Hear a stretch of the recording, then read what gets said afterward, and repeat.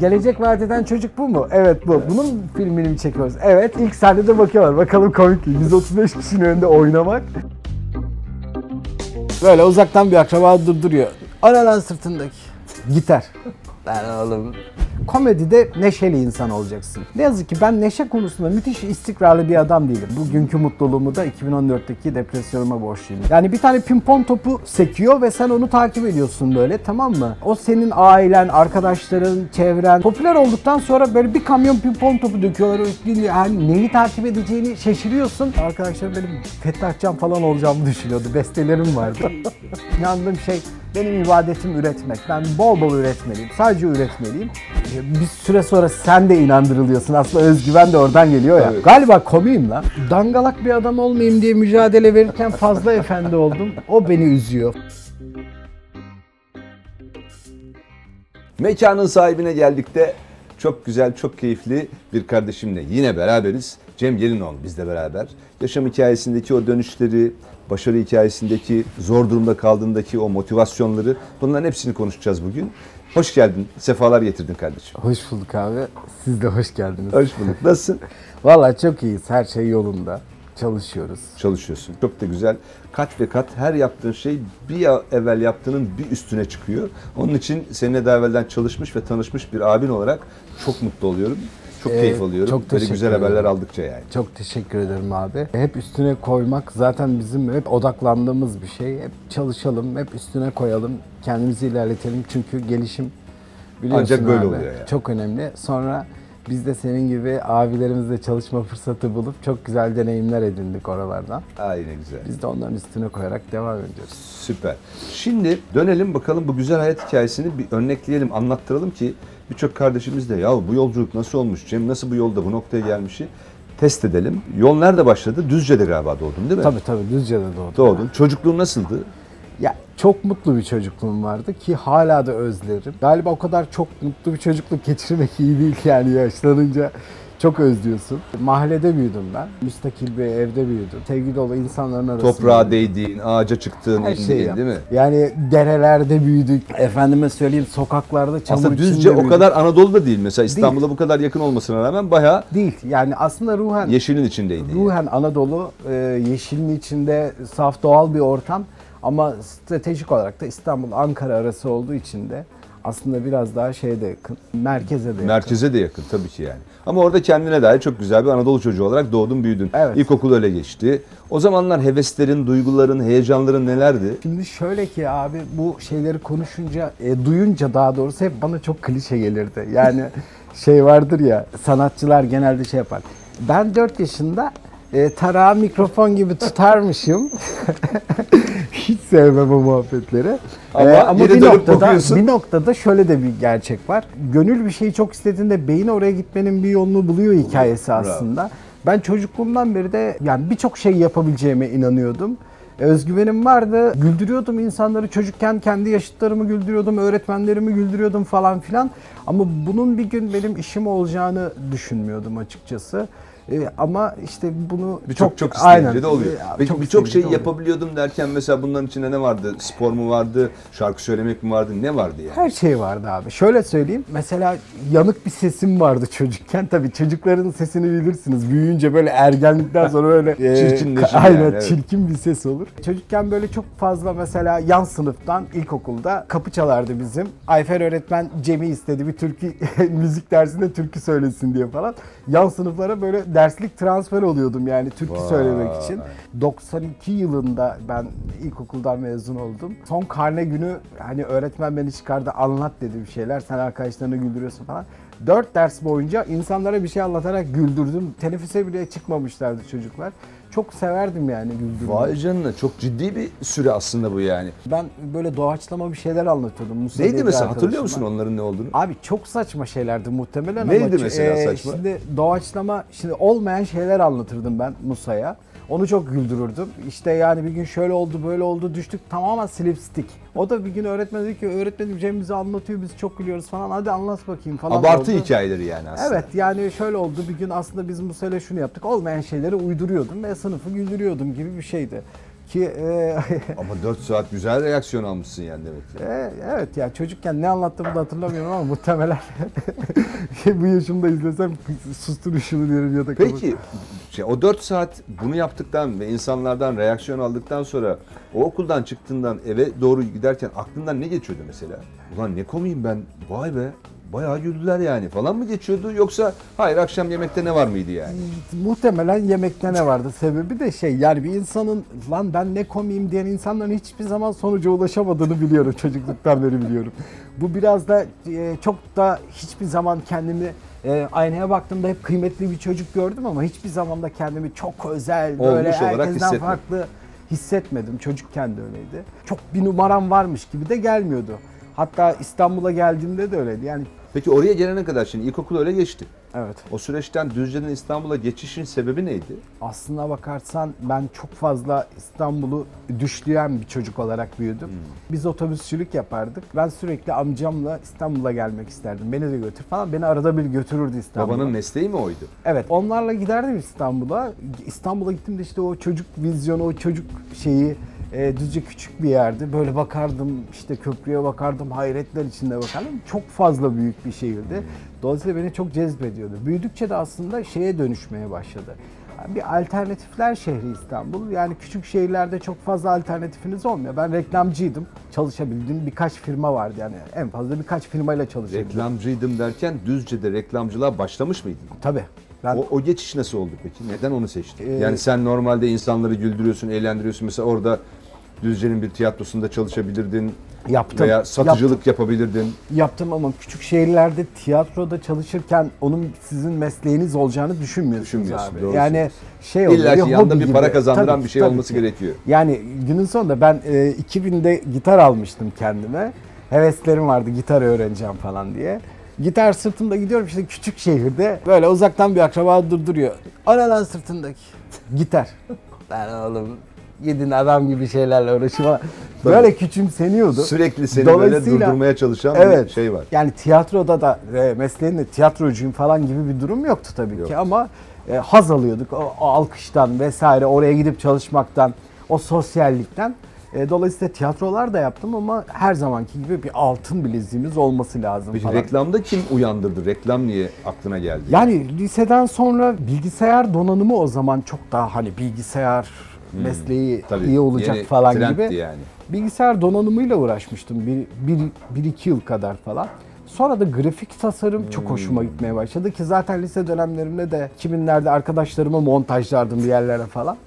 O Gene bir mizah aslında evet, yani. Ya grafik aynen yine mizah sebep oldu diyebiliriz. Grafik tasarıma başladım o dönemde. Uzun yıllar Düzce'de grafik tasarım yaptım. Peki yırtmaya çalışmak mıydı bu dert? Yani ekonomik olarak ailene destek vermek miydi? Yani aslında şöyleydi abi, içgüdüsel olarak hep ailemi daha ferahlatmak, rahatlatmak. Bir dönem bir borçlarımız vardı ben çocukken falan. Tabii hani böyle aile, evet yani böyle stresi çok gördüm ve içgüdüsel olarak biraz daha İstanbul'a gelmemin nedeni artık mesleğime daha hakimim, daha iyi olmak istiyorum. Belki bir kendi şirketimi açarım, iyi paralar kazanırım da bir nedeni. Kaç kardeştiniz? İki kardeşiz. Sen büyüksün, Ben küçüğüm. Küçüksün. Benim abim var evet. abin var ama böyle bir sorumluluk yine de abi olmasan da Tabii ki aslında onların da hiçbir zaman benden öyle bir beklentisi yoktu. Yoktu. Zaten ben İstanbul'a geldikten sonra da bizim ailemiz için her şey ferahladı, rahatladı falan.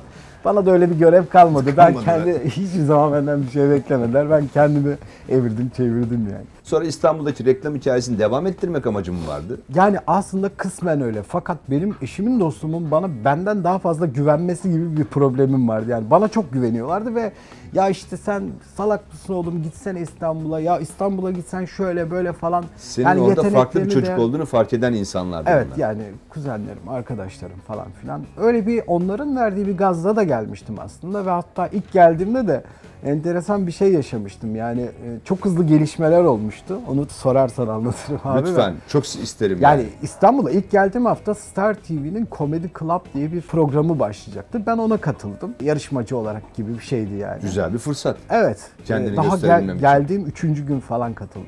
Sonra bana iki hafta sonra telefon ettiler. Dediler ki ya siz en iyi performanslardan biri seçildiniz. Biz bu konsepti değiştirmek istiyoruz. Ne yapacaksınız? Biz sizle birlikte 10 kişilik böyle bir kadro kuracağız ve bir komedi programı yapacağız.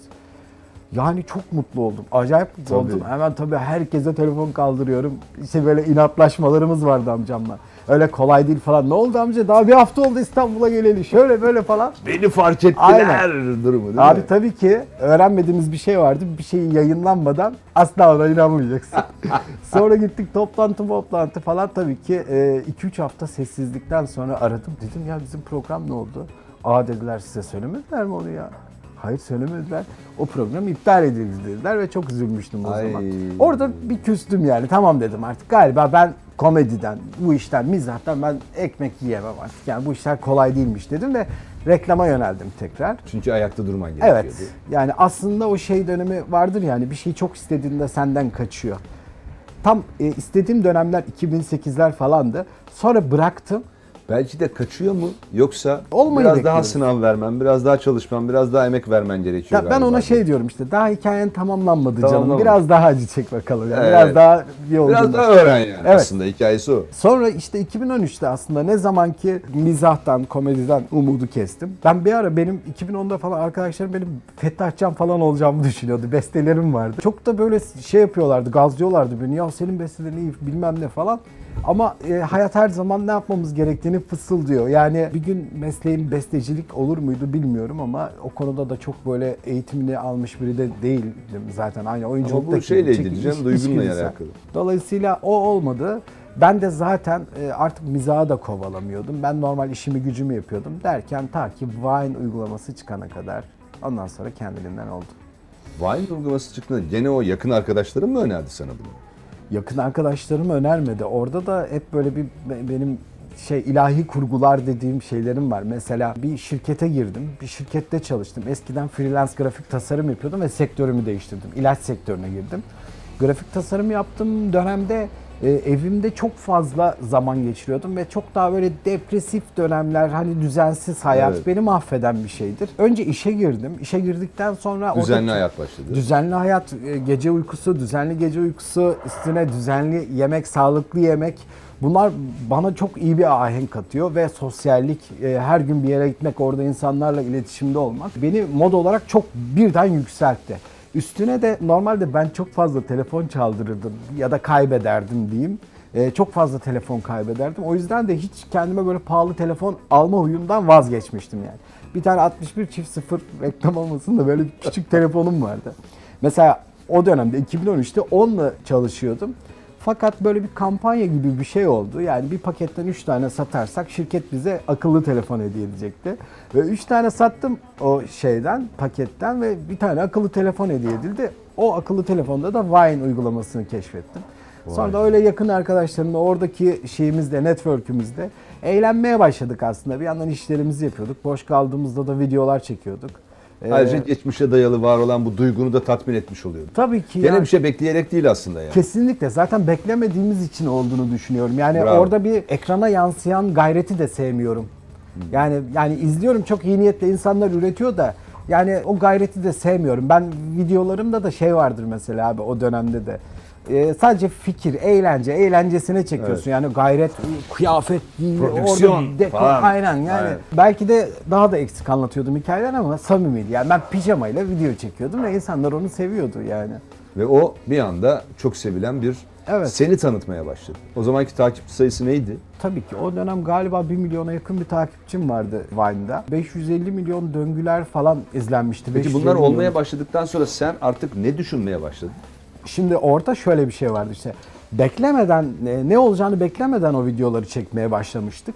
Hatta baştaki yorumlarda abi çok komiksin diye hani bakıyorum birileri yazıyor. Allah Allah ya bir daha açıyorum video izliyorum. Aslında o kadar komik değil yani normal bir video. Sonra izledikçe ya da bir süre sonra sen de inandırılıyorsun. Aslında özgüven de oradan geliyor ya. Tabii. Galiba komiyim lan. Yani e, 150 kişi yazmış bir yorumun altına. 500 kişi yazmış falan. İnsanlar birbirlerini etiketliyor Bunlar falan. da yanlış biliyor olamaz yani. E tabi bir noktadan sonra özgüven oluyor aslında ve farkındalık da oluyor. Bu sefer her yerden bir fikir bulmaya başlıyorsun falan gibi. Bir. Cesaretleniyorsun tabii ki. Ama ne zamanki şeyi gördüm, o beklentisiz çektim ve karşılık bulmaya başladığını gördüm ve ciddiye alındığını gördüm. O zaman şey dedim, galiba burada bir şey var ve ben bunu istikrarlı yapmalıyım. Sadece ihmal etmemeliyim. Yani e, zaten bir sürü notlarım vardı. Hala 2014 dönemlerinden notlarım durur. Yani çekemediğim daha yüzlerce fikir var. Vay. Ama bir, bir süre hikaye değişti değişti falan derken artık bir noktada sosyal medyadan ayrı kaldık kısmen. Yani mesafe koyduk. Peki bir şey belli oldu. bir noktaya geldikten sonra o kazandıklarını kaybetmemek adına yani fanlarını kaybetmemek adına az önce tedirgin olduğun o çabalama hikayesine düştün mü? hiç düşmedim. Hep aynı samimiyetle Zaten devam bunu ettin, değil mi? takipçi sayımdan anlayabilirsiniz. Yani Instagram ilk e, zamanlarında Vine'ın kapanacağı dönemde bile takipçilerime şunu demedim. Merhaba benim Instagram adresim burası oraya gelin falan demek bana ayıp gibi geliyor açıkçası.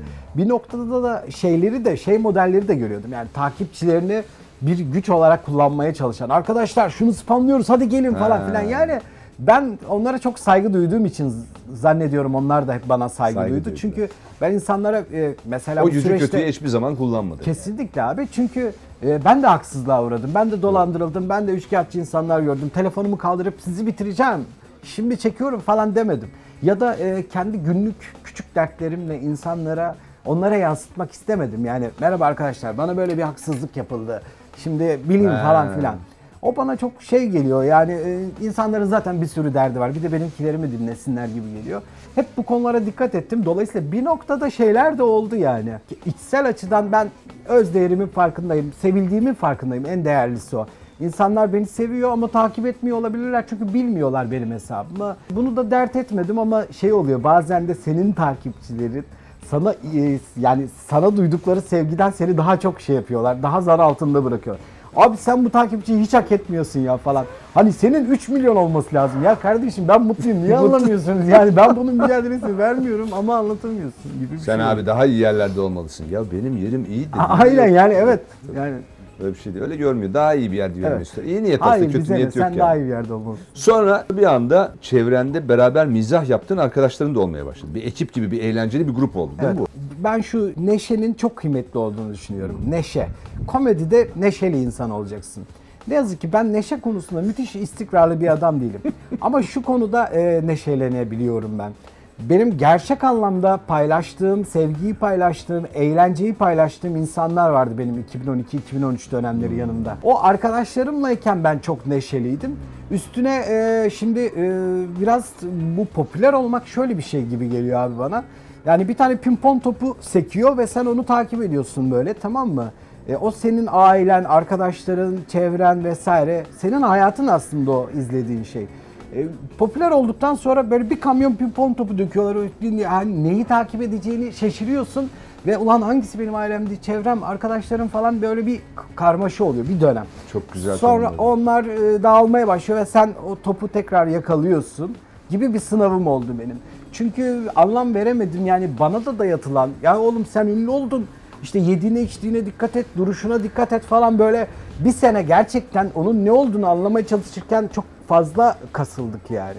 Bu da beni çok yordu, üzdü de aslında. Yani ve bir yere gidiyorum bir kafeye bir arkadaşımla görüşeceğim. O diyor ki ya benim arkadaş var seni merak ediyor gelse olur mu? Gelsin kardeşim falan. Öbür arkadaşım geliyor falan bir bakıyorum o da onun arkadaşının böyle abi şey ulaşım bakanı gibi şey böyle sanki bakan gibisin yani.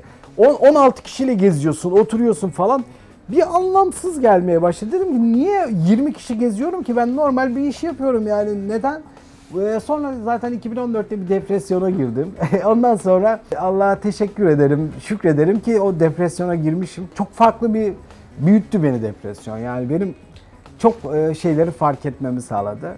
Ve bugün o yüzden mutluyum. Bugünkü mutluluğumu da 2014'teki depresyonuma borçluyum. Aslında bazen kötü şeyler de insanın kendine gelmesini sağlayabilir. kesinlikle. O süreci sorguladığında da çözüm bulamayınca bir depresyon oldu yani. Evet abi yani bir stres, kaygı, bir şey. yani. Çok köklü değişiklikler almıştım çünkü ben. 2014'e girerken işimi bıraktım, mesleğimi bıraktım, e, bambaşka bir alana geçtim, sinemaya geçtim. Ne olacağını bilmiyorum. Bunun uzun soluklu olması lazım. Bambaşka bir hayatıma dahil olan insanlar silsilesi falan gerçekten yorucuydu ve bir şeylerin büyümesinden korktum. O korkuyu hatta yeni yeni aşıyorum biliyor musun? Yani oh diyorum yani şimdi artık istediği kadar büyüyebilir. Gelsin. Çünkü ben ne yapacağımı biliyorum Biliyorsun. artık yani.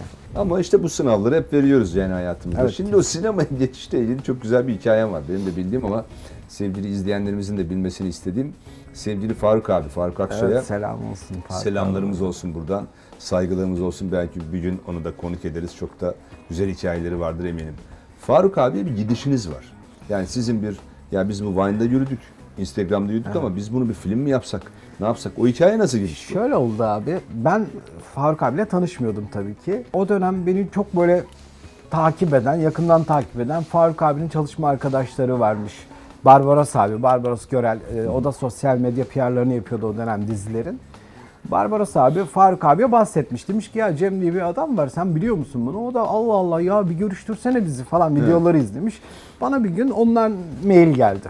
Tabii Faruk Aksoy seninle görüşmek istiyor deyince o dönem Faruk abi ben şöyle takip ediyorum. Fetih çekiliyor. Yani Evet. Türkiye'nin en bütçeli filmi o dönem 17 milyona mı Tabii çekilmişti? Recep'in en çok izlenen filmin Tabii ki yani yapımcısı falan bir şey rekor Tabii, tabii. rekorları kıran bir adam. Tabii ki heyecanlandım. Vay dedim bilmem ne ne yapacağız bilmem ne. Böyle hatta onun üzerine bir goy goy anlatacağım birazdan. Sonra işte Faruk abi davet ediyor seni dedi. Ofise gittim. Faruk abi çok tatlı misafir etti beni. Evlat anlat dedi. Ne yapıyorsun? Nasıl? Kendi hikayemi anlattım. Dedi ki yani böyle uzun metraj filmler yapmak ister misin? Dedim abi bu iş için zaten hani her şeyimizdi. Tabii ki isterim. Ama dedi tabii ki kısa videolar çekmek gibi olmaz dedi uzun soluklu olması. Dolayısıyla bir şeyler görmek isterim senden. Abi dedim seve seve yaparız bir şeyler. Hani böyle bir 5 dakikalık bir şey, bir 5 sayfalık bir yazı hiç önemli değil dedi. Faruk abi gerçekten çok keşifçi bir yapımcıdır Evet. yani. Keşfeder, cesurdur kesinlikle. Ceza işte yıllarca Şahan birçok yapımcıya gidiyor, gidiyor, Evet. gidiyor. Hiçbiri kabul etmiyor. Faruk abi inanıyor Evet Şahan'a zaten mesela. ben de yani. hep şey diyorum yani zaten bir yapımcının yapması gereken şey bu keşifçilik. Yani e, senaryo okumaya üşenen yapımcı olmaz ya da ya o düzeni kurman gerekiyor. Dinlemeye Yani- vakti olmayan yapımcı olur mu? Evet. Ondan sonra işte biz böyle bir beş dakikalık bir şey hazırlayalım dedik. Ha, bize kendini göster dedi Faruk abi. Aynen yani bir şey yani hep Vine 6 saniye ya. He. 6 saniyede şakayı veriyorsun. Background'a ihtiyacın yok. Bitiyor. Herkesin derdi şakayı alıp gülmek zaten. Dolayısıyla onu uzun soluğa Senin nasıl için uzun metrajlı bir şeydi aslında o değil Evet mi? evet aslında Vine'ın 5 uzun dakika metrajlı. 5 dakika bir şey yaptık falan. Aslında da zaten tam bu konuştuklarımız vardı o 5 dakikada. Gene o yakın arkadaşlarımla dedim ki ya ne yapalım normal olanı anlatmak bir komedidir yani. Aslında. Dolayısıyla Orada da samimiyeti seçmişsin yani. Aynen yani orada böyle bir şey bir hedef tahtasına Faruk abinin resmini koymuştum. Çocuklar demiş ki beyler adamımız bu. Yani adam fermuarını çekse 6 milyon izleniyor falan filan böyle şeydi. yani o, onun üzerine bir hikayeydi Faruk abi yani. üzerineydi. Ve e, çok beceriksiz bir ekiple onu yapmaya çalışıyormuşum gibi bir hikayeydi. Yani herkesin başka bir sıkıntısı var falan. Öyle bir hikaye da çok sevildi Faruk dakika. abi tarafından. E, Faruk abi sevdi. Faruk abi bana gülerdi yani çok gülerdi. Eğleniyorduk da çok da eğlenirdik Faruk abiyle. Ondan sonra dedik ki hadi bakalım bir iki konu bul. Hatta şeyi unutmuyorum. Konuyu bulduğumda şöyle hadi stresliydim çünkü ya bir sinema filmi araştırıyorum, okuyorum sinema filmi nasıl yazılır, konu nasıl bulunur falan filan. Düşünüyorum ediyorum işte logline'lar, sinopsisler onları öğrendim fakat film yaratmayı aslında Faruk abiden öğrendim. Yani ben ona daha önce bir hikaye getirmiştim. Ya işte böyle böyle bir hikaye, arsa hikayesi falan. Dedi ki ne yapsın lan seyirci senin arsanı dedi yani. Anladın mı? Bir kahramanın olmalı. Yani kahraman iyi bir şey yapmalı, seyirci sevmeli gibi. Çok güzel şeyleri olmuştu. Sonra dedim ki abi Faruk abi işi biliyor. Ali Kundili fikrini buldum. Kısmen de benim aslında kendi komik anılarımdan olan, kendi komik yırtma dönemlerimizdeki yok işte bir şey denedik, başka bir iş denedik falan dönemlerindeki hikayeleri toparladım. Aslında o mucit, o tutangaç şeyi de benim zaten projelerimden biriydi bir dönem. Ee, Peki şunu merak ediyorum şimdi. Bu da aynen o Star Televizyon'da olan hikaye gibi bir anda çöp olabilirdi. Ama dedi ki Faruk abi tamam Cemcim pazartesi çekimi başlıyoruz dedi. Eğer sıkıştınız oradan çıkıp yürürken ki veya arabaya bindiğinde aklında ne vardı mesela çok merak ediyorum. Aslında şöyle abi ben ilk filmi çekmeden önce zaten o popülerliği artık tatmıştım. Yani çok fazla gelen fotoğraf çekilen çok güzel bir alanda olduğunu Ama sinema bir farkındayım. hayal Tabii ki sinema başka bir ya. şey. Sinema olduğundaki hissim şuydu. Adım adım zaten ilerlediği için o heyecan hani birdenbire böyle bir loto çıkmış gibi bir his değildi ama adım adım e, o heyecanı hissediyordum. Sadece üstümde kaygı vardı çünkü ben videoları 2-3 arkadaşımla birlikte çekiyordum ama set ortamının öyle olmadığını tahmin ediyordum. Günün sonunda aslında bugün çok sevdiğim yol arkadaşlarım, emekçi arkadaşlarım, Kolombiya montlu, North Face montlu set insanları da tanımadığım için çok havalı insanlar ve şey görüntü yönetmeni geliyor. Artık yani adam işin şeyi olmuş yani Hmm, artık onun için çok sıradan bir şey çekmek. Görüntü yönetmeni geliyor böyle yapıyor. Ama Biz orada Bir bir, de şey senin oynuyoruz. suratına bakarak böyle gelip derler ya. falan sen de böyle şey şey bakarsın ne oldu abi diye. Ya onlar böyle onları mutsuz görünce ulan bize mi kuruldular acaba işimizi iyi yapamıyordu falan o kaygı çok önemli. Bir de şey var gelecek vaat eden çocuk bu mu? Evet bu. Bunun filmini mi çekiyoruz? Evet. Komik bu mu? 135 kişi e, şey vardı ilk sahnede bakıyorlar bakalım komik mi? 135 kişinin önünde oynamak o setin önünde oynamak Hele bir de reaksiyon alamazsan. İlk gün çok zordu. Emel Müftüoğlu ziyarete geldi baklavasıyla. Bana çok destek Hmm. Aa, verdi. Moral oldu. Ondan sonra Aferin Faruk abi de ilk günler e, beni çok böyle rahatlattı. Destek oldu. Ve günün sonunda ilk günü atlattık. Ondan sonra aktı geçti yani. İlk gün çok zordu. Çok sorun değil mi? İlk günde Ali Kundi'nin davulcu sahnesiydi. Çok zordu yani. Çok zorlanmıştım. Senin de aslında baktığında bir sürü yeni şeyle tanıştığın bir gün. evet. Yani sinemaya yeni tanışıyorsun, seti yeni tanıyorsun. Yeni insanlar, bilmediğin insanlar ve bir anda beraber hareket edeceğin insanlar. Evet ve ön hazırlığım çok iyi değildi abi. Yani çok fazla senaryoyla uğraşmıştım. Ne kadar olabilir ki zaten? Şöyle oldu yani sette oyun dedi, oyun dediler. Şu anda ne yapmam lazım falan böyle soruyorum. O kadar O sen oyunu duyunca oynamaya başla falan diyor. O kadardı gerçekten. Yani keşke onun önden böyle bir hafta bir kursunu falan görseydim.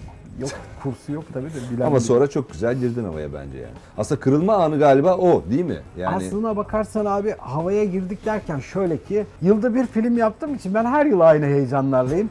Ve sadece şey oluyor tabii ki ilk heyecan gibi olmuyor mutlaka ama yine de hep kendimi teslim ediyorum yönetmene vesaireye. Ben hala o öğrenci ruhuyla sete çıkıyorum. Çünkü aynı zamanda bir taraftan işin senaryosunda da yer aldığın için Evet. çünkü çalıştığın şu ana kadar çektiğin filmlerin hepsinde mutlaka kalemde bir etkin var değil mi? Evet var yani yok artık ikide yok. He, Şansım ha, Seveyim'de de kalem oynatmıştım var. Aslında onun senaristi Ferhat Ergün'dür. Hmm. Ee, orada da böyle bir kalem oynattık hani şaka toparladık bir şey yaptık şu sahneyi değiştirdik Dolayısıyla falan. senaryo yani çekim esnasında aslında çift kafa çalışıyor. Hem oyuncu olarak düşünmek zorundasın hem yazar olarak düşünmek zorundasın. Evet. O bir dağılmana da sebep olabiliyor yani. Bir de şu oluyor abi aslında hani film film senin yazdığın oynadığın film olduğu için de ben kendi şeyimden rolümden çok orada oyunculara gidiyorum şuraya şunu eklesene bak bu komik olur Faruk abi gidiyorum Faruk abi şöyle bir şey eklesek nasıl olur falan. Filmi daha komikleştirmenin üzerine çok fazla mücadele verirken ne oynayacağını da unutuyorsun dönüyorsun işini yapman gerekiyor falan. Peki bugüne kadar geldiğin Cem'in hayatına baktığımızda bugünden sonra Cem neler yapmak istiyor? Daha neler yapılabilir? Ya da hayır hayat bana ne teslim ederse ben getirirse ben onu yaparım mı diye mi devam etmelisin Abi ben yani? geleni kabul etmeyi seviyorum. Sadece ve sadece ben biraz zaman planlamasını çok iyi yapabilen bir adam değilim. Dolayısıyla benim kafamda ya kolayca işte şu senaryoyu yazarız, şu zaman sete gireriz dediğim 6 ay atabiliyor yani. Çünkü onu planlayamıyorum çok. Dolayısıyla bunları hızlandırmam gerekiyor. Daha çok inandığım şey benim ibadetim üretmek. Ben bol bol üretmeliyim. Sadece üretmeliyim. Sadece bu işi yapan adam olmalıyım ki insanlar biz e, bir gün filmlerimle tanıştıklarında bir şekilde bağ kuruyoruz biz zaten. Sadece bunu sıklaştırmam gerekiyor. O yüzden biraz yavaşım. Ama onun haricinde bir takıldığım konu daha var. Ben hani çok fazla konumlandırmayı e, şey önemseyen biriyim. Şimdi baktığımızda Türkiye'de de insanların üstüne yapışan şeyler var ya hani senaristlerin aklına ya yazarken şunu düşündük. Böyle çok üstüne yapışıyor Yapışmış ve o sana şeyler. da kolay geliyor. Hazır başarılmış bir şey ve aynı şekilde devam etmek. Peki bunu kırmak mı istiyorsun? Abi aslında ben bunu çok yaşamamıştım ama hani böyle Anadolulu, sevilen çocuk, mahallemizin Başına iş sevilen gelen çocuğu. adam.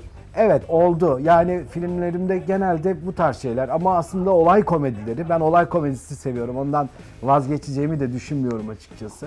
Ama e, biraz daha şeyimizi böyle ters köşeler planlıyorum artık. Yani artık bana da yetiyor bu sen yani mahalle hikayeleri falan artık beni de kesmiyor. Yani bir gün mesela hiç sert bir filmde de rol almayı düşünüyor musun? Ya mutlaka ama şu anda insanların beklentisi benden şey. Daha e, eğlenceli. Komedi. Komedi ve onlar benden bunu beklerken ama durun bakın bunun da böyle bir Ben de şey, değerli tarafı var falan gibi bir şey demek istemiyorum ki e, onlar da e, bunu izlemek için gelmiyorlar. Şu anda Evet. bir süre daha komedi yaparım. Bence de daha Ama yaşın kara mizah hikayeleri biriktiriyorum şu anda. Ha. İyi bir kara mizah filmi çekmek istiyorum. Evet. Onunla alakalı yine çünkü sonuçta komedi. Bu sefer de kara mizah sevenlere de bir şeyler yapmak istiyorum. Onun Evet. haricinde de var kafamda birçok şey. Yapacağız Güzel. inşallah. Harika. Heyecanla bekliyoruz o zaman. Evet sevgili Cem'le şu an sohbetimize bir virgül atıyoruz ve şimdi sırada sırt sırta sorularımız var. Ve sırt sırta sorulara geldi sıra efendim. Evet sevgili Cem'cim sen nelere gülersin? Ben kara mizaha çok gülüyorum. Trajikomik hikayelere de aslında. Daha çok ters köşe komikler Evet. yani şaşırtan komikler Evet, yani. bir de durum komedilerine çok gülüyorum. Senin de başına gelen e, şeyler Evet, aslında en genelde bu tarzdır durum Evet komedisi. sen de severek yapıyorsun çünkü. Peki bir insanda bugüne kadar biriktirdiğin insanlara baktığında bir insanda olması gereken 3 en iyi özellik nedir? Yani e, çok e, para eder özellikler mi bilmiyorum. Aslında bence ediyor. Samimiyet birinci özelliği olmalı insanın. Dürüstlük de öyle. Yine çok klişe cevaplar gibi gözükse de Yok. aslında benim için çok özel Kıymetli. cevaplar. Üçüncüsünü de söylemem gerekiyor değil mi? Lütfen. Galiba yine klişeden gideceğim ama çalışkanlık diyeceğim abi. Peki sen kendinde neyi sevmezsin? Yani dangalak bir adam olmayayım diye mücadele verirken fazla efendi oldum. O beni üzüyor. Fazla çok efendiyim ben. Bu da çok daha böyle seni daha fazla sömürülebilir biri yapıyor. E, Biraz ona kızıyorum aslında kendime. O kadar da efendi olmamak lazım. İşte ama bu da genetik ve bugüne kadarki ahlakınla çok alakalı Cem'cim yani. Ya abi Onu aslında- bozamıyorsun, değişemiyorsun. Yani aslında çocukluğumda böyle e, lafı gediğe oturtan biri de oldum. Onların çok da doğru olmadığına inandım. Şimdi büyüdükçe, emek verdikçe bir şeye uzun yıllarımı verdim. Şimdi bir insan olma mücadelem var. Onu böyle bir şeye kızıp bozamıyorsun. Yani o öyle bir şey değil çünkü. Dolayısıyla biraz şey haksızlıkları e, absorbe etmeye başlıyorsun. Neyse biriktirmiyorsak sorun yok. Biraz Aynen da öyle. dışarı atmayı Biriktirmemek en güzeli. 2014'ten sonra zaten o aydınlanmayı yaşadıktan sonra e, hayatında değişen en önemli şey bu muydu? Yani e, biriktirmemek, sırtına bu yükü almamak, e, bir hırslanmamak, e, kızmamak falan gibi bir şey miydi? Aslında şey? çok doğru yakın şeyler abi. Çünkü depresyon bir alarm çeşidi. Ve orada o dönem bir farkındalığımı arttırdım. e, Farkındalık çalıştım biraz. Çok fazla kitap okudum. Psikolojiyle alakalı şeyler okudum. Ve birçok şeyi düzenledim. Hala düzenleyemediğim şeyler var ama zaten e, daha inşallah yolumuz da var. Yolculuk bu. Yani hepsini bitiremeyiz yani. zaman Bence de. zaman. Eksik bir insan olarak öleceğimizin farkındayım ama Evet. hala var yani düzeltmemiz gereken. Peki en son Google'da ne zaman ismini yazıp aradın? Vallahi aslında bir dönem aratıyordum abi şeyde. 2-3 yıl falan olmuştur. 2-3 yıl öncesine kadar bir bakıyordum. İşte Nedir durum, neler evet, yüklenmiş, yani neler ne inmişti? olmuş, ne etmiş diye artık 2-3 yıldır zannediyorum bakmıyorum. Kaç yaşındasın şu anda? Şu anda 38 yaşındayım. Evlenmek, çocuk sahibi olmak gibi düşüncelerin var mı? Var tabii abi bizde biz de bir annenin Biz de yuva koyalım diyorsun. Biz de bir annenin evladıyız. İstiyoruz ama tabii ki çok zor bir dönemdeyiz. Hepimiz adına konuşuyorum. Ee, artık evliliklerin ve ilişkilerin çok fazla e, şeye maruz kaldığı bir dönemdeyiz. Odak dağıtan çok fazla şey var. İnsanlar Tenis topla şey pimpon topları evet, çok fazla Evet. Dolayısıyla bulursak gönlümüze göre biri zaten neden olmasın yani şeyde değiliz. Karşıda değiliz evliliğe. Haydi bakalım inşallah en güzeli İnşallah. olsun senin için. Şimdi sevgili Cemcim, Didem Sevinç Atölyesi'nin yapmış olduğu bu muhteşem mumlardan hediye ediyoruz size. Ya çok tatlısınız. Ee, bu programımıza katıldığınız için, bizimle olduğunuz için, hayatınızı bizimle paylaştığınız için çok teşekkür ederiz. Allah uzun zamandır bu kadar şık da bir mumluk görmemiştim valla. Ay ne güzel. Evet, aynı zamanda güzel. mermerdir kendisi. Evet, evet, çok sert ve ağır bir malzeme yani. Evet. Dolayısıyla çok teşekkür ederiz. Sağ ol, var ol. İyi ki mekanın sahibine geldiğe geldin. İyi ki Vallahi bizimle hayatını paylaştın. Sağ ol, var ol. Ben teşekkür ederim. Çok tatlı bir ekibiniz var abi. Ee, konsepti de zaten çok seviyordum. Ne Birkaç güzel. bölümü de izlemiştim. Ben de konuk olduğum için çok mutluyum. Ayağınıza sağlık. Çok teşekkürler. O zaman sevgili izleyenlerimiz bir başka mekanın sahibine geldik de bir başka güzel kardeşimin güzel hayatıyla buluşmak üzere müsaadenizle efendim.